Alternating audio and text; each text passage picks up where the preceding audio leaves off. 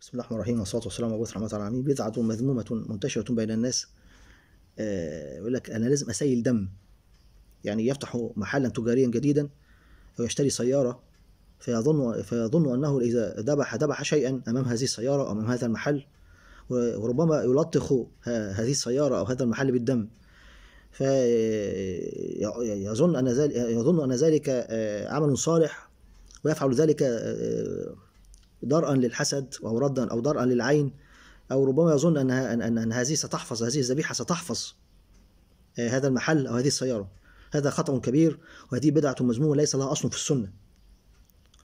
وهي شرك بالله سبحانه وتعالى لأنك تظن لأن الرسول صلى الله عليه وسلم لم يسن ذلك سن ذلك العقيقة تسن في, في, في الطفل الرضيع الذي يولد فقط لكن لا تسن أبدا عند فتح محل تجاري أو عند شراء سيارة. لم يسن لم يسن الرسول صلى الله عليه وسلم الرسول صلى الله عليه وسلم يعني الذبح عند عند هذا. بعض العلماء قال يجوز فعل ذلك ولكن في يعني بعض الناس بيذبح أمام المحل أو أمام السيارة. بعض العلماء أجاز ذلك ولكن في في السر.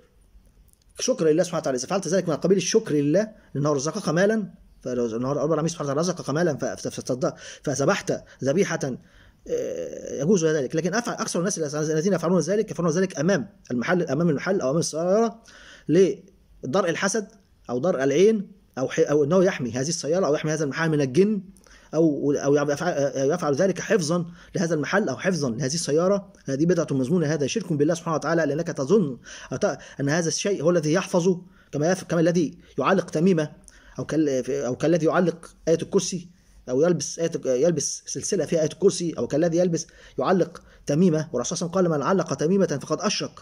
وقال عليه الصلاة والسلام من علق تميمة فلا أتم الله له. فلا تعلق تميمة آه، في سيارتك أو على باب بيت على أو على باب بيتك الذين يعلقون خرز زرقاء لدفع العين أو كل هذا شرك بالله. فذبح الذبيحة أمام المحل أو أمام السيارة أو تلطيخ الدم وهذه بدعة مذمومه لا لا أصل. فشكر شكر الله سبحانه وتعالى ولم لم يعني آه، لم يرد عن الرسول صلى الله عليه وسلم عن أصحابه ولا التابعين. ان أحد منهم كان يذبح آه، عند عند فتح محل أو شراء سيارة أو أي شيء جديد كان يذبح ذبيحة. هذه هذه بدعة. فوجب كان يجب على أن ننوه لهذا ولو تعرف لك جار أو صديق أو أخ أو يفعل ذلك أو سيفعل ذلك يجب عليك أن تنبهه. حتى لا يضيع ماله يضيع ماله هباء. حتى لا يضيع ماله هباء ويأخذ اسما كبيرا. فبعض الناس يفعل العمل ظنا منه إنه عمل صالح ويضيع ماله ولا يعرف إنه يأسم يخسر ماله ويأسم. فأقول قولي هذا استغفر الله لي لكم هكتب لكم حكم ده تحت الفيديو. انسخون شو نشر هذا العلم في ثواب عظيما لعلم علما فانه أجرم عمل يوم القيامة. لا ينقص ذلك من أجورهم شيء. لا تنسوا تفعيل الجرس والاشتراك في القناة ليصلكم كل جديد وساعدوني على نشر السنة. وأقول قولي هذا استغفر الله لي ولكم.